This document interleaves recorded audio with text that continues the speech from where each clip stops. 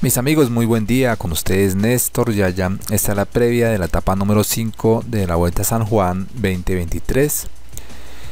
Pero antes vamos con un repaso de lo sucedido en la etapa anterior, la etapa número 4. Este es el resumen de la etapa número 4 de la Vuelta a San Juan 2023. Para un recorrido de 196 kilómetros, bastante larga esta etapa. Y se iniciaba en el circuito San Juan Villicún y terminaba en Barreal. Se iniciaba en terreno de ascenso, luego se pasaba en el kilómetro 37.5 en la ruta 40, el primer sprint intermedio, luego se ascendía al puerto Baños de mm, Talas, Talacasto, 5.3 kilómetros, 3.9 de inclinación de tercera categoría, ese kilómetro 52.5.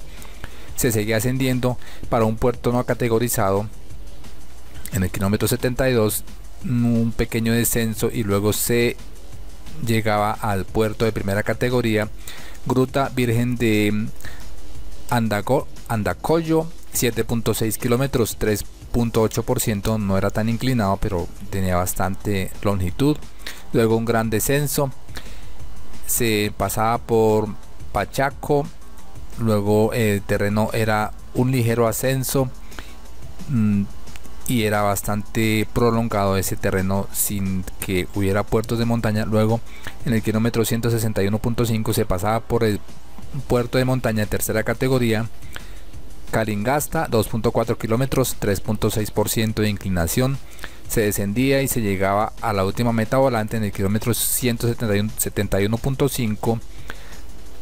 Tamberías y luego mm, con tendencia al ascenso se dirigía hacia Barreal donde quedaba la meta. Se registraban los protocolos, las entrevistas previas con Fernando Gaviria dando sus impresiones, se lanzaba la etapa 4 como estaba previsto, se lanzaba un grupo de alto calibre en fuga, buscando soltar y mm, distanciar a algunos sprinters y otros que no aguantaban el ritmo alto. Ellos eran Sam Bennett, el propio líder se ha metido ahí. Harold López, Tobias Andersen, David Weiss, Tarozzi, Lorenco, Salgueiro, Conte, Dotti, Covarrubia, Rosas Tibani, Ocampo, Quinteros, Benjamín Rodríguez, tomaban una ventaja de 7 minutos con 10 segundos, aunque mm, el propio líder que se había montado en esa fuga podría estar en el lugar equivocado, pues era el primero en rezagarse cuando se endurecía la cuesta, tal vez ahí estaba perdiendo su liderato Quedaban entonces 14 hombres en fuga, aunque se subían dos hombres más, Egan Bernal y Brian Sánchez, y eran 16 en punta. El primer premio de montaña era dominado por Tomás Conte, Egan Bernal pasaba cuarto, recogiendo 4 puntos. De los 16 de fuga quedaban solo 9 en fuga cuando se transitaba por un descenso y un terreno plano. Se cortaba un lote donde se ubicaba el líder inicial, perdiendo más de un minuto con el pelotón principal. El grupo que perseguía era ya más pequeño, aunque en el descenso empezaban a recuperarse algunos hombres rezagados. El grupo principal le estaba llegando al grupo de Egan Bernal y se agrandaba nuevamente el pelotón. Un grupo bastante pequeño con unos 44 hombres adelante, con buen ritmo, buscando que no llegaran hombres de atrás que se habían quedado rezagados quienes estaban perdiendo unos 4 minutos con ese grupo principal. Fernando Gaviria y Peter Sagan permanecían en este grupo delantero. El Total Energy y el DSM encabezaban el grupo delantero, ya empezaban a subir el último puerto de montaña en Caligasta y Gaviria aguantaba y el viento estaba metiéndose de costado. El último puerto Caligasca era ganado por Thomas Conte. Algunos hombres intentaban salir del lote probando piernas y Quinn Simmons se adjudicaba la última meta volante. El Ineos tomaba la punta del pelotón con Brandon Rivera.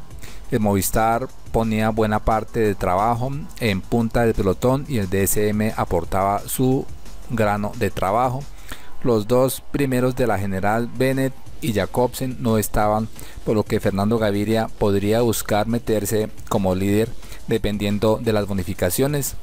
En el último kilómetro algunos hombres intentaban saltar, pero los controlaban y se armaba el sprint final. Se lanzaba Filippo Gana, también Peter Sagan y Fernando Gaviria, quien era el ganador de la etapa, la primera con el Movistar una gran celebración la que hacía, haciendo homenaje a su equipo telefónico.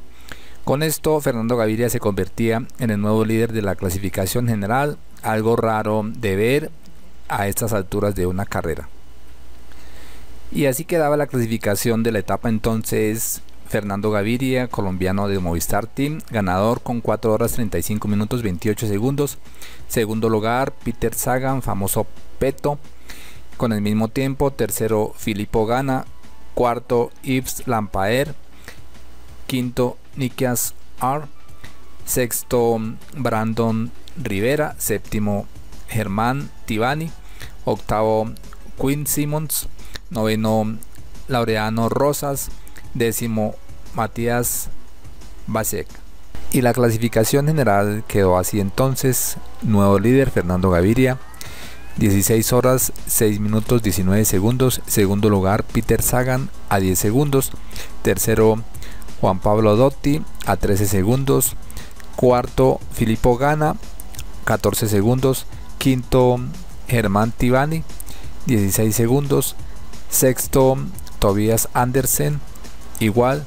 Séptimo Daniel Oz el mismo tiempo. Octavo Yves Lampaer el mismo tiempo. Noveno Matías Basek, el mismo tiempo, décimo Oscar Sevilla, con el mismo tiempo 16 segundos. En la posición 13 queda Egan Bernal con 18 segundos de diferencia. En la posición 15 queda Brandon Rivera, el mismo tiempo 18 segundos. Posición 17 Miguel Ángel López, igual 18 segundos de diferencia y el perfil de la etapa número 5 son 174 kilómetros entre la localidad de Chimbas y Alto del Colorado. Se inicia en terreno plano, se pasa por el, Jardín de los Poetas, kilómetro 20.5, luego se encuentra el sprint intermedio, el primero del día, Plaza de Chimbas, kilómetro 41. Luego se afronta el primer puerto de montaña que es de tercera categoría, Alto del Villicún. 13.4 kilómetros, 2.7 de inclinación. La verdad que es largo el puerto, pero es bastante leve la inclinación. Ese es el kilómetro 65.5. En el kilómetro 92 se encuentra Talacasto, el segundo sprint intermedio del día. De ahí se empieza a ascender para el primer puerto de montaña de segunda categoría y es el segundo del día. Baños de Talacasto, 5.3 kilómetros, 3.8% de inclinación, es más inclinado. Luego se sigue ascendiendo, eso es en el kilómetro 106.5, se sigue ascendiendo para mm, el segundo puerto de montaña de segunda categoría. El tercero del día, altos de la crucecita, 18 kilómetros o 18.1 2.5 de inclinación también no tiene tanta inclinación pero es bastante prolongado. Kilómetro 125.5 luego un descenso pequeño más bien y un terreno plano y luego se empieza a ascender para el último puerto de montaña que es la llegada de la etapa alto del Colorado ese mm, puerto es bastante largo, son 18.8 kilómetros, 4.4 de inclinación. También es bastante largo, no es tan inclinado, tiene un porcentaje demasiado de inclinación, pero pues obviamente tanto, tanto terreno en ascenso pues mm, va a perjudicar las piernas de más de uno. En esta etapa se van a reflejar los primeros favoritos para la clasificación general final acá se empieza a ordenar la clasificación general. Tenemos a Fernando Gaviria el ciclista colombiano de Movistar como líder. Obviamente en esta mm, etapa no puede no creo que aguante toda la etapa. Nos metido con el lote principal. Podría aguantar hasta el primer puerto de montaña baños de Talacasto que no es tan inclinado. Ya de pronto empezaría a quedarse si aguantara hasta em, el segundo puerto de montaña ahí metido con el grupo podría empezar a rezagarse en el último puerto de montaña. Mm, sabemos que Fernando Gaviria ha entrenado bastante para lo que es las escaladas ha estado metido en escapadas con puertos de montaña pequeños pero todavía no se puede considerar como escalador así que puede perder su liderato es lo más posible que suceda. Entonces entrará un escalador a ocupar esa posición que hay muchos candidatos Sevilla Egan Bernal Filippo Gana incluso también puede meterse ahí. Sergio Higuita también es un gran escalador.